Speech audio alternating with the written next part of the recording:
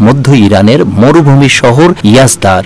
শত শত বছরের পুরনো পৃথিবীর উষ্ণতম এই শহরের অ্যাডোবি বাড়িগুলো সাধারণ বাড়িঘর থেকে উঁচু এবং এর চিমনি টাওয়ারের মতো উপরে উঠে গেছে, যা এই শহরের বাসিন্দাদের জন্য মনোরম বাতাস বয়ে আনছে। এই প্রাচীন শহরটিতে গ্রীষ্মকালে তাপমাত্রা চল্লিশ ডিগ্রি সেলসিয়াসের উপরে পৌঁছে যায়।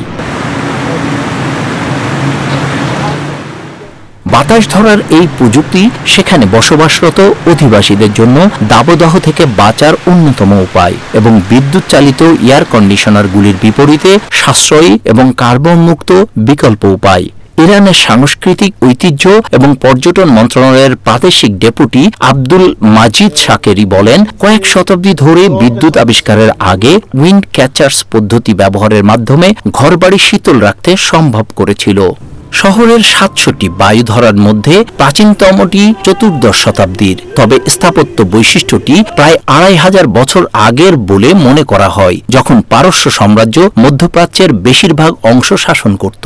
প্রাচীন সিল্ক রোডে একটি কাফেলা থামার স্থান ছিল। এমন মরুভূমির শহর সম্পর্কে সাকারি বলেন, শহরের সমৃদ্ধিতে বাদগিররা গুরুত্বপূর্ণ ভূমিকা পালন করেছিল। মানুষ তাদের কারণে স্বাচ্ছন্দ্যে বাস করত।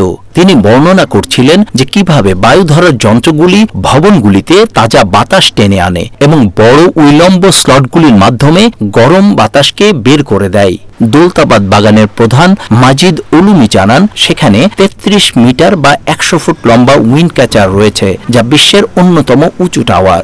তিনি কুলিং পদ্ধতিকে সম্পূর্ণ পরিষ্কার বলে বর্ণনা করেন, কারণ এতে বিদ্যুৎ বা দূষণকারী উপাদান ব্যবহার করা হয় না। ইউনেস্কো দুই হাজার সতেরো সালে ইয়াজতকে বিশ্ব ঐতিহ্যবাহী স্থান হিসেবে তালিকাভুক্ত করে এবং শহরটিকে বেঁচে থাকার জন্য মরুভূমিতে সীমিত সম্পদের বুদ্ধিমান ব্যবহারের জীবন্ত সাক্ষ্য হিসেবে অভিহিত করে।